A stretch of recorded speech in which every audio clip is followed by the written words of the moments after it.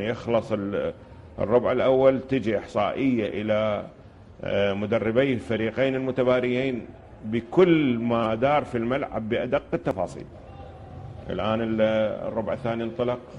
كانت هجمة لفريقنا الوطني غير موفقة والفريق الأردني مناولة آه، يعني يسموها مناولة عمياء في كرة السلة حقيقة تذهب إلى الخارج. ويحصل فريقنا الوطني على الكرة بجهد بأقل جهد وعلي عامر يشير بأصابعه إلى الرقم اثنين وهو طبعا الأسلوب الذي يفترض أن يتبع في بناء الهجمة. قتيبة من بعيد وحلوة يا قتيبة. حلوة يا بطل. ثلاث نقاط. نحتاج إلى كل نقطة في سبيل أن نثبت أقدامنا ونحقق فوز واحد. يأهلنا إلى الإبقاء على آمالنا في الصعود إلى الأدوار النهائية. وفريقنا الوطني بلي حسد في موقف دفاعي وهجومي على أحسن ما يرام. وهاي بشهادة. هذا البطل علي عبد الله. ووقت مستقطع للفريق الأردني يطلب المدرب الأمريكي توماس بالدوين. وفريقنا منتشي بهذا ال... وهذا الفريق الأردني طبعا بالتأكيد. المدرب غير راضي عن الأداء وبالتأكيد هنالك مشكلة كبيرة في هذا الفريق. كان يتوقع ربما أنه مباراته مع الفريق العراقي لن تكون بهذه الصعوبة على الأقل في, في, في البداية. لكن الحمد لله تستطيع لكي تحصل بامتياز على لقب عاصمة السلة العراقية ويحصل فارسها الأول الأستاذ تمر رمضان على الرئاسة الفخرية للاتحاد العراقي لكرة السلة بعد أن قدم الكثير لهذه اللعبة. فريق الأردن يحاول وحلوة يا علي. حقيقة الموقف الدفاعي ممتاز. يعني ثلاث لاعبين الآن يغطون وغير مسموح للاعبين الأردنيين في أن يأخذون راحتهم في الانسايد جيم والحمد لله لحد الأمور لحد الآن الأمور سالكة. ونتأمل أن نبقي على هذه الأمور سالكة إلى النهاية. هذا علي الزغابي اللاعب أردني اللي هو طوله متران خمسة من مواليد العقبة 1988 يضع الكرة في السلة 15 للأردن 25 لفريقنا الوطني. بعد مضي دقيقة و20 ثانية على على بداية الربع الثاني. وهذا علي عامر. قتيبة. رحمن. يلا يا بطل. مخالفة المشي أنا ما شايف بها أي شيء. اللاعب ارتكز بشكل صحيح لكن تباطأ قليلا تبدو وكأنه أخذ خطوة للأمام لكن أنا ما شايف أي شيء حقيقة. وهذه تحصل في أحسن العوائل يعني تقديرات الحكم هو الأقرب وإحنا راضين بحكمه حقا أو باطلا. ما دام في حدود آه، اللا تعمد أو لا تقصد. خطأ شخصي ضد فريقنا الوطني. استوجب إدخال كرة من أسفل سلة العراق.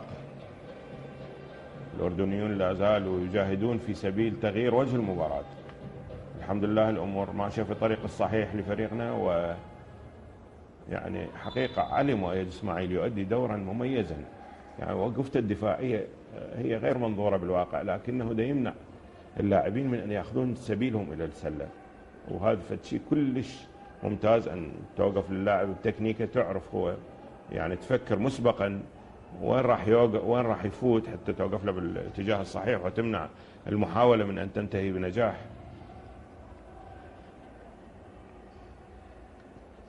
قتيبة. رحمن. والكرة إلى الفريق الأردني هجوم سريع الآن. والمرور إلى السلة يجابه بخطأ. الرحمن ما كان لازم ترتكب هذا الخطأ. يعني النقطتين أفضل إعطاء نقطتين أفضل من ارتكاب خطأ ربما كان يأثر على موقف رحمن في الاستمرار في هذه المباراة.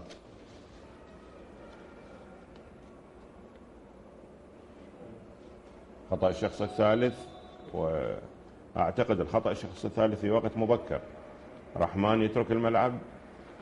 المدرب فكرة توما يحاول أن يبقي على حظوظ هذا اللاعب في أن يستمر مع الفريق إلى النهاية وطبعا وجوده في الملعب بشكل خطر عليه لأنه اللاعبين الأردنيين راح يحاولون أن يفوتون من قريبين عليه وممكن أن يرتكب خطأ رابع ويصبح في موقف لا يحسد عليه هو رحمن من اعمده الفريق العراقي ولا يمكن الاستغناء عنه إذا أردنا فعلا أن نحافظ أو نبقي على آمالنا في تحقيق هذا الفوز. 25 للعراق 15 للأردن الشقيق. قبل سبع دقائق وعشرين ثانية على نهاية الربع الثاني أو الشوط الأول. قتيبة يحاول يمر. تمريرة نهائية لكن كان هنالك مخالفة المشي ضد قتيبة والكرة في صالح الفريق الأردني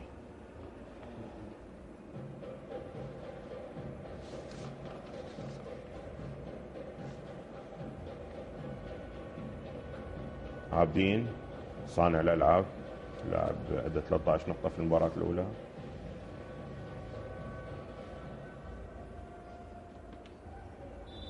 وخطأ شخصي هذه المرة ضد من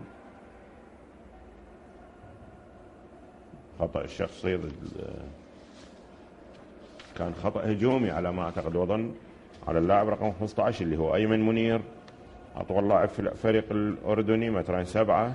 مواليد عمان 1978 وفريقنا في موقف هجومي الآن هذا قتيبة. حلوة مناولة نهائية رائعة. ومحمد صلاح يضع الكرة برهاوة في السلة بعد أول محاولة هجومية لهذا اللاعب اللي حل محل رحمن الذي ارتكب ثلاث أخطاء شخصية. والمرور ناجح إلى السلة. وأخيرا الفريق الأردني يسجل عن طريق اللاعب أيمن منير. ويحصل هذا اللاعب الذي هو مثل ما قلنا لكم أطول لاعب في الفريق الأردني مترا سبعة. طبعا يتساوى في هذا الطول مع محمد الشاهر اللي ما اشترك لحد الآن. وأيمن يضع الكرة في السلة. محمد صلاح يدفع الكرة إلى علي مو إسماعيل علي عامر طالب.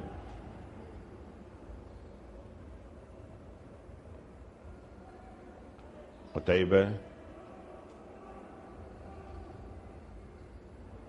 وتنخطف الكرة من قتيبة ومرور ناجح إلى السلة. نقطتين الفريق الأردني وهنالك وقت مستقطع الفريق العراقي طلب مدرب منتخبنا الوطني فكرة توما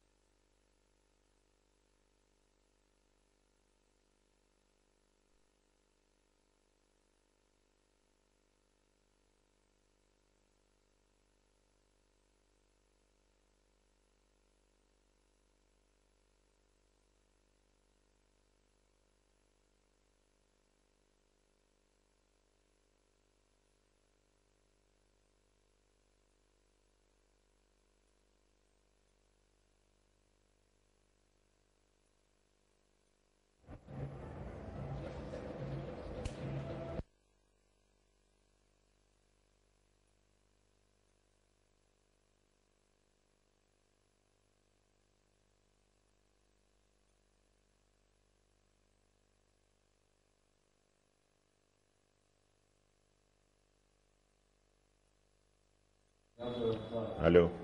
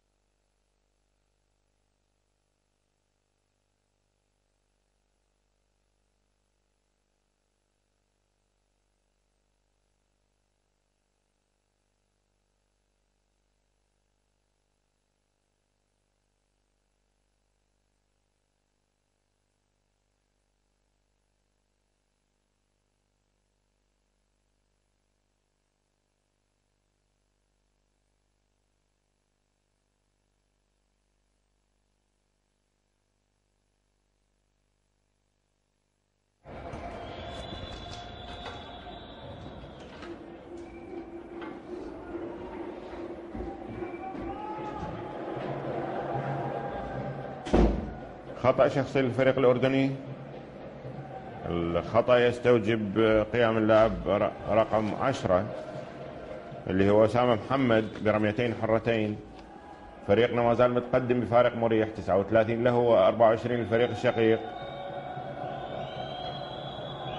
أسامة ينجح في في لعب الرمية الحرة الأولى 29 39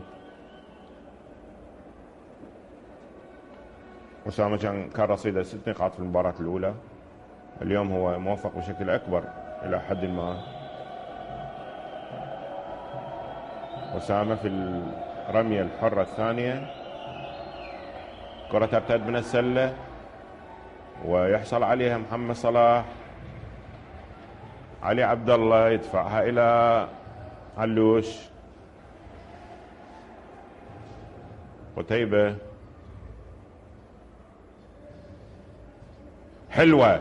مناولة نهائية رائعة. وممتازة يا مالك. يا بطل. ممتازة يا قتيبة. أسيست رائع كان. ونقطتين أخرى جميلة لفريقنا الوطني. يلهب حماس الجمهور ويرفع حقيرته بالتصفيق والهتاف لفريقنا الوطني المتألق في هذه المباراة. وهذا اللاعب الأردني اللاعب رقم تسعة اللي هو علي الزغابي يسجل نقطتين للفريق الأردني. الفريق الأردني يدافع بأكثر حماسة أكبر هذه اللحظة. طبعا استعادة ما يمكن استعادته قبل نهاية الشوط ضرورة مهمة وملحة للفريق الأردني. قتيبة مالك شنو الحلاوة؟ شنو البداعة؟ عيني عليكم باردة يا أبطال. حقيقة يؤدون دور رائع. كان يفترض أن تكون نقطتين هذه أنا ما أدري شلون الأمور مشت بهذه الطريقة الغريبة. وما أعرف حقيقة لحد الآن شنو القرار.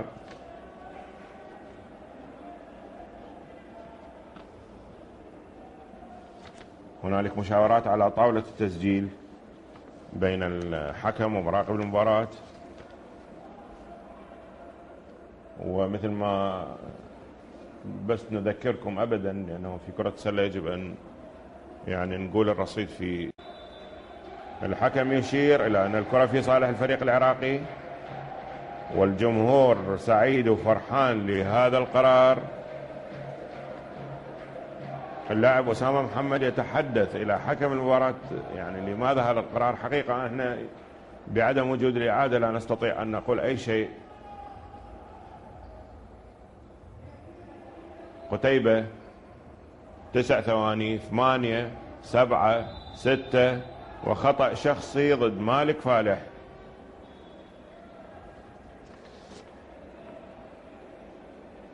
خطأ شخصي. عفوا ضد علوش أحمد منشد. الخطأ الشخصي يستوجب قيام علوش برميتين حرتين قبل ست ثواني تماما على نهاية الشوط الأول. يلا يا بطل. هنالك إشارة إلى أنه هنالك رميتين حرتين. يلا علوش. أحد أعمدة فريقنا الوطني. معلش ماكو مشكلة. فدوة. بس جيب لنا الثانية ونسامحك. ممتازة ممتازة 42 27 4 ثواني 3 ثواني ثانيتين ثانية واحدة من بعيد. والكرة ترتد ويخفق الفريق الأردني في التسجيل قبل نهاية هذا الشوط الذي انتهى بنتيجة جيدة جدا لفريقنا الوطني. 42 نقطة لنا للعراق و27 للأردن. استراحة أمدها عشرة دقائق ونعاود اللقاء بكم أيها الأحبة.